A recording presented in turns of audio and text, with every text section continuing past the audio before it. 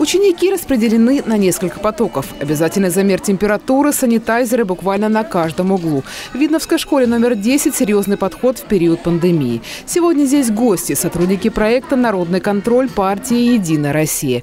Они приехали, чтобы проверить качество горячего питания и выполнение всех санитарных норм.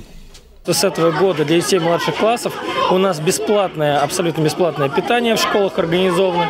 И мы по всей Московской области ездим, э, смотрим, не нарушается ли э, меню.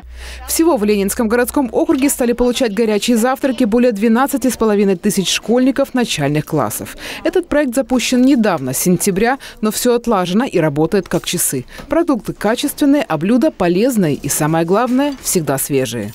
Это не организовано на аутсорсинге или готовится? Да, э, готовим здесь.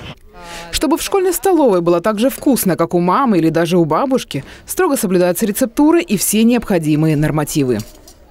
Все как бы согласно Санпин, 65 градусов температура, то есть как бы все горячее, все подогревается. Помимо бесплатных завтраков для учащихся первых-четвертых классов, в школе предусмотрено питание и для льготных категорий. Меры поддержки большие, большая льготная категория. Все эти дети, если это начальная школа, завтраки бесплатно, обеды бесплатно для льготных категорий.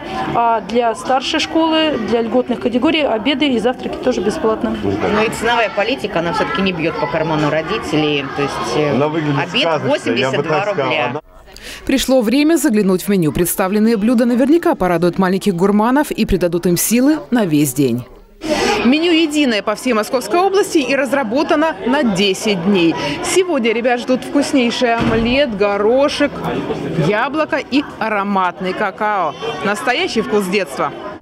А вот действительно ли все вкусно и полезно, самый важный и честный ответ можно получить от самих учеников. Спасибо! На здоровье! Ребята, а каждый день завтрак такой же вкусный? Да. Всегда нравится?